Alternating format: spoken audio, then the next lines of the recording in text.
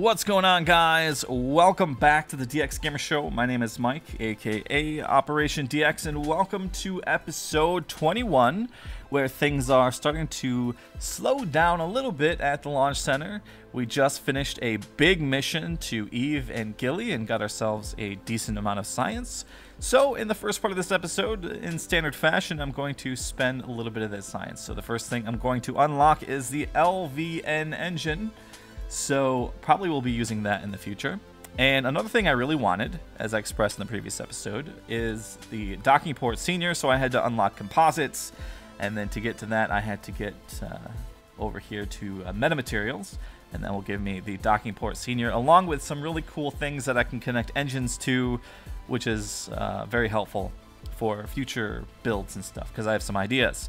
And then I'm going to go ahead and unlock the top tier experimental science package that is going to give me that scanner that will allow me to zone in on those resources and the big 1500 ore tank.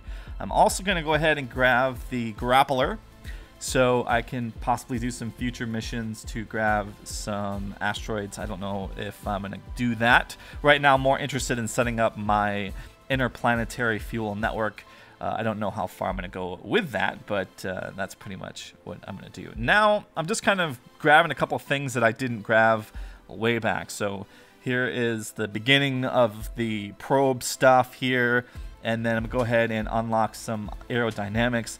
I totally haven't even been using the procedural fairing thing. Um, haven't seen it to be very necessary, though, with the current designs that I've been building. So not too big of a deal there. I haven't run into too much trouble, honestly, with my rocket designs.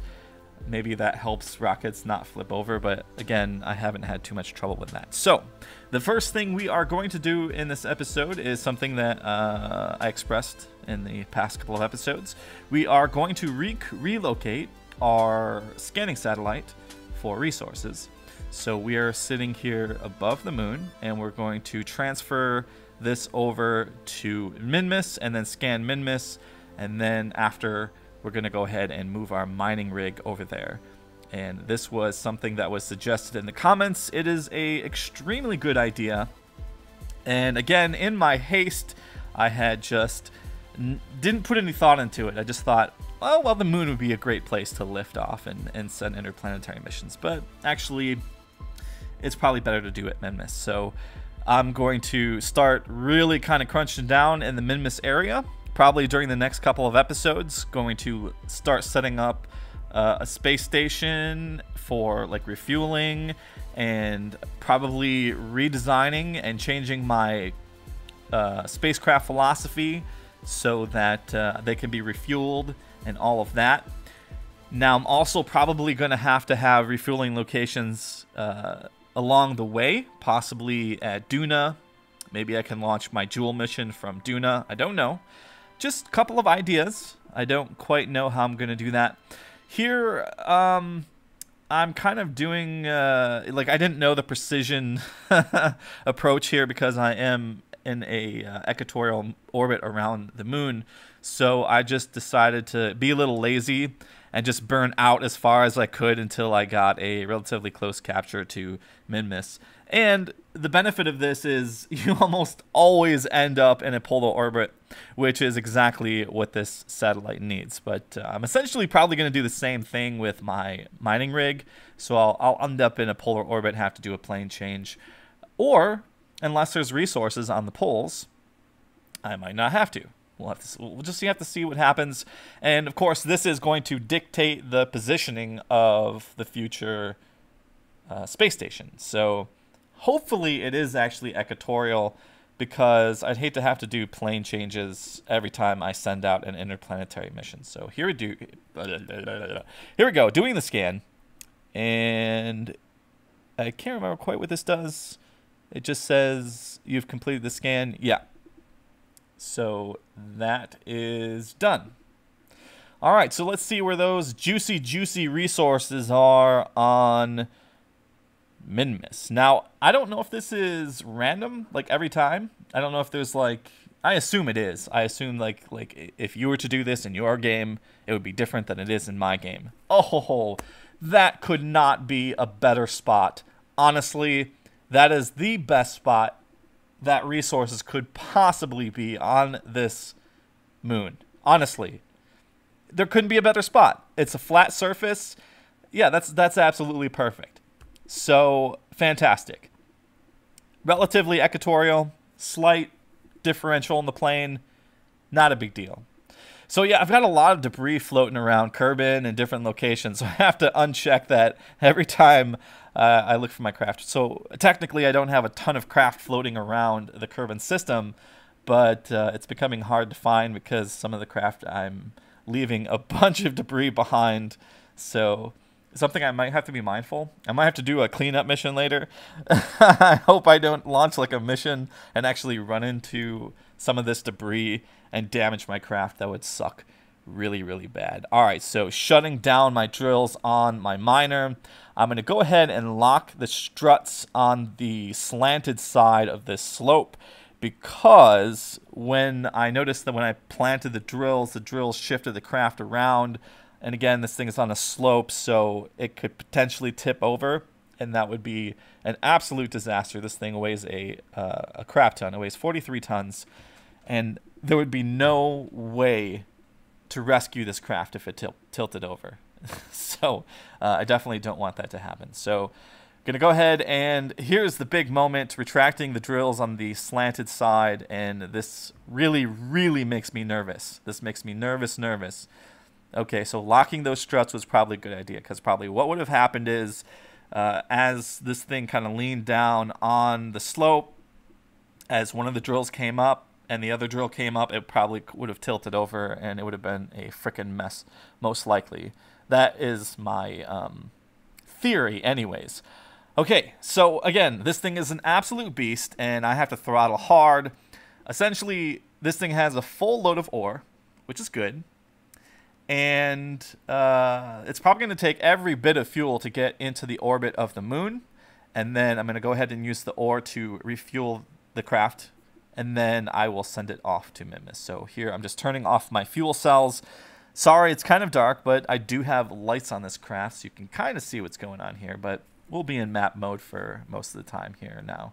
So as you can see, I'm I'm just I'm cooking through the fuel, just cooking through it. I mean, theoretically, what I could have probably done is disable those LV909s, but I think I need that extra oomph to get this thing moving. So it's probably best to leave that on. And yeah, see that uh, quarter tank left, and I'm pretty much almost in orbit of the moon, but this is this is exactly why moving this over to Minmus was a really fantastic suggestion because I don't think it will be quite this bad. I mean, it will cook off a a a little bit of fuel. I mean, it'll probably be a decent amount, but it will be nowhere near what I'm cooking off here. So, anyways, I have to go ahead and uh, redeploy my sol- solar panels, turn back on my ISR unit, actually uh, left it on when I was launching, which was bad. It was uh, draining the battery. That could have been disastrous because I could have run out of power. But I think I could start those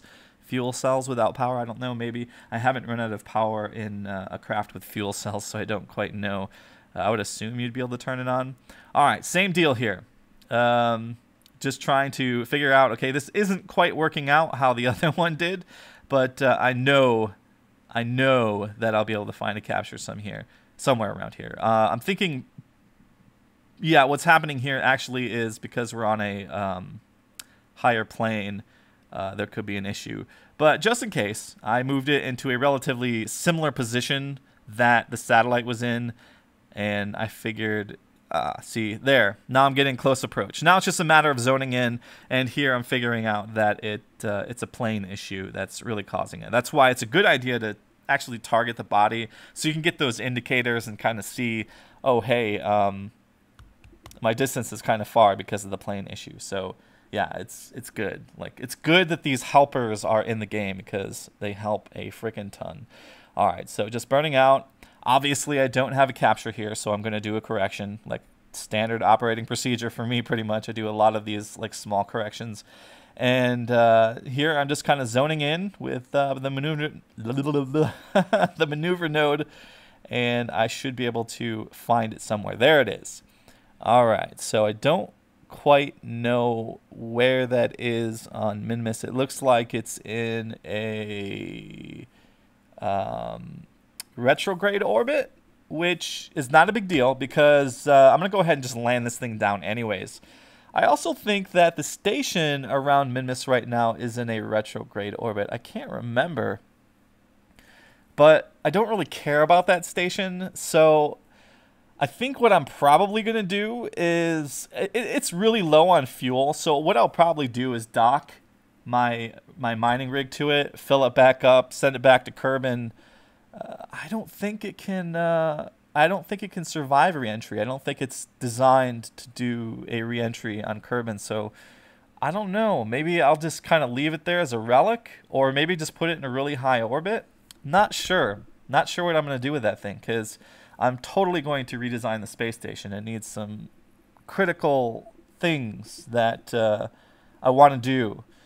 I want to have like this little craft for a Kerbal that can go down to the surface and come back up um, and set down flags and stuff just to uh, mark the biomes and stuff because I, I know there's more science here to be had and then I can unlock some of those um, aerodynamic aircraft parts probably with that. Uh, there's probably a few more biomes here on here that I can I can do that with. Anyways, so here I'm uh, just setting up, and uh, I got a little overzealous with my burn there, so I had to flip the craft back around and do that quite often. I used to do that a lot in the .22 series.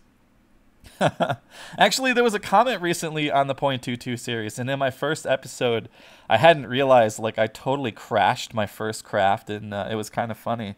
Um, I don't know, just a funny moment. Uh, you know, sometimes just get comments on like older videos, and you're like, "Oh, what is he talking about?" And just like watch it or whatever. It's like, "Oh, that was that was interesting. I can't believe I let that one slide." But you know, that's still relatively um, it's not. It's not early days. I've been playing Kerbal Space Program forever. All right, so yeah, dude, look how freaking fantastic this place is for this setup here. The ore is right below me and a, the flattest surface on Minmus. This could not have gone any freaking better. Now, I don't think I'm going to change up the design of my miner too much. Uh, I don't know if I'm gonna like do a redesign now that I've got those bigger tanks. That could be something I could consider, but I think this is gonna be sufficient. I mean, I'm probably gonna have to do a different design for other planets, but for the local system, this thing is more than sufficient. More, more than sufficient. I wanna I wanna unlock those uh, more advanced probe cores that allow you to fly kind of like there's a pilot inside of the craft where you can, you know, lock in the prograde, retrograde, and all that. I really like that you can do that when you have a pilot on board. And this one, you have to do it all manually, uh, old school, which isn't a problem, but uh, I kind of like having the ability to do that. Anyways, I'm going to put this thing down nice and gently, my massive, massive mining craft. I'm going to go ahead and just uh, get this thing running again, just for now. Oh yeah, I gotta do my scan. So this scans the biome, Minmus Great Flats. So that is where we are. Um, I'd like to get a Kerbal down here and uh, just mark that off with a flag, but uh, I will need to... That'll happen when I get my station. Um, so I'm probably going to have some Kerbals manning it.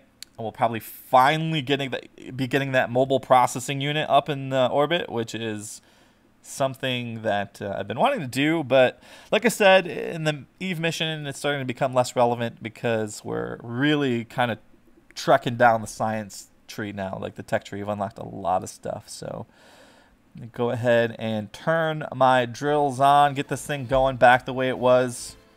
Then we'll essentially just leave it. It'll probably be all filled up by the time we need it again, which is exactly what we want. Didn't spend too much ore transmitting the fuel, which is uh, kind of surprising. I expected it to be less efficient than it actually is, but it is uh, not too bad. Not too bad, considering. And I probably should build a station, maybe with an ISR unit on it, with a big old giant drum that can hold some ore, and then I could just save just a little bit left, and then keep bringing this thing up and down and up and down. But I got to mark the landing site, and I've got to get that scanner down to find the most efficient area That way I can mine a little more efficiently. But yeah, this uh, this little mission went successful. Couple missions there, relocating the satellite and placing down the miner. That's it for this one. Thanks for watching.